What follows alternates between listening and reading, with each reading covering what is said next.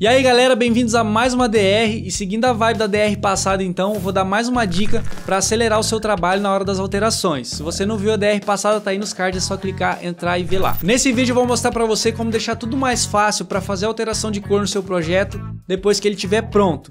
Então já anima esse like aí para nós, deixa ele bem azulzinho, bem bonitinho e acompanha a DR aí que vai ser show. Tô com o mesmo projeto da DR passada aberto, onde eu já tenho meus controladores da animação no jeito aqui, e agora eu vou fazer o esquema das cores para você ver. Para isso, eu vou criar um objeto nulo, que vai ser a minha camada de controle de cores. Vou colocar nesse objeto nulo um Color Control, na verdade eu vou colocar quatro, então vou dar Ctrl D até eu ficar com quatro deles, porque eu tenho quatro camadas para controlar a cor. Se eu tivesse mais, eu faria mais. Renomeio todos os Color Control para o nome das camadas, para ficar mais fácil, né?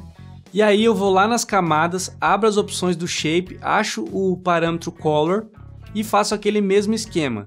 Segurando o Alt, eu clico no reloginho, aí ele vai abrir mais essas opções para mim e eu pego o Parent, arrasto até o Color Control que eu defini para esse Shape. Faço isso com todos, um por um. Cada cor de Shape, cada parâmetro de cor de cada Shape, eu linko com um Color Control que eu defini lá na camada de controle de cores. E agora o que eu mudar de cor aqui na camada de controle de cores vai mudar as cores dos respectivos shapes.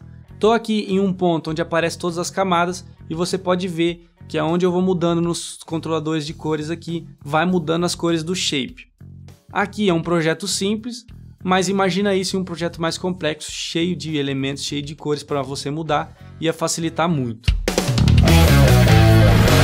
É isso aí, mais uma vez eu falo para vocês que é claro que você vai perder um tempinho a mais ali na hora de animar para fazer isso, só que na hora de alterar, você vai ganhar esse tempo porque já vai estar tá tudo mais fácil para você. Eu espero que você tenha gostado, não esquece de se inscrever no canal, ativar as notificações para sempre receber os vídeos, segue eu lá no Instagram para ver as fotinhas por aqui e se você quiser apoiar o canal financeiramente, tem o um link aí na descrição do Apoia-se, é só você entrar lá e colaborar com uma quantia por mês.